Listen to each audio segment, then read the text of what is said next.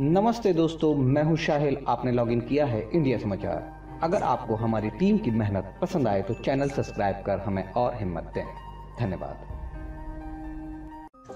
प्रतापगढ़ सांगीपुर थाना क्षेत्र के ग्राम सिंघनी में महामाया मंदिर पर हुई रात में चोरी ढाई कुंटल पीतल के घंटे और सौर ऊर्जा के पैनल और बैटरी चोर उठा ले गए। जब सुबह ग्रामीण उठकर पूजा करने मंदिर गए तो मंदिर की घंटी ना देखकर उनका माथा ठनका। इसकी सूचना सौ नंबर पर पुलिस को दी। मौके पर डायल हंड्रेड पुलिस पहुंचकर जाँच किया। क्षेत्र पंचायत सदस्य राजा सिंह का कहना है कि ग्रामीणों की बहुत पुरानी मंदिर है। इससे ग्रामीणों की आस्था जुड़ी हुई है। कई बार हो चुकी है चोरी की वारदात। सांगीपुर थाना प्रभारी पीबी तिवारी का कहना है कि जाँच की जा रही है। हालाँकि आवश्यक कार्रवाई भी की जाएगी। सर क्या नाम है आपका? प्रभाकर सिंह। सर- प्रधान सिंहनी।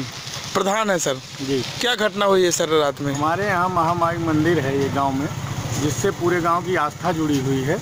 आज रात कुछ लोगों ने जो है वहाँ पे जो घंटे बंधे थे उनको खोल के लेके चले गए जो कि लगभग दो ढाई कुंटल के थे सारे मिला के।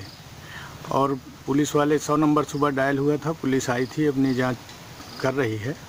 लेकिन अगर चार छः दिन में इस चोरी का खुलासा नहीं होता है तो हम लोग सड़क पे उतरने के लिए मजबूर हो जाएँगे। थैंक यू सर क्या नाम आपका? मेरा नाम रंजीत सिंह है। क्या मामला हुआ है सर सर ये आप देख रहे हैं बगल में प्राचीन मंदिर है महामाया के नाम से। यहाँ पे लगभग ढाई से तीन क्विंटल घंटे थे। उनको आज रात में चोरी हो गई। ये सामने देख रहे हैं सोलर पैनल बैटरी इत्यादि चोरी हो गई।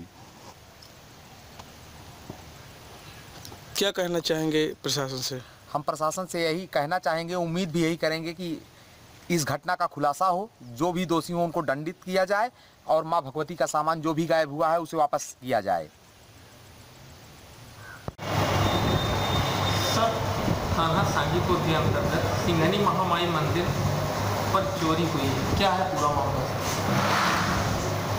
बताया गया है कि सिंघनी थाना सांगीपुर में महामाई का पुराना मंदिर है, जिससे कुछ घंटे, घंटियाँ और एक सोलर पैनल चोरी हो गया है। तहरीर मिली हुई है।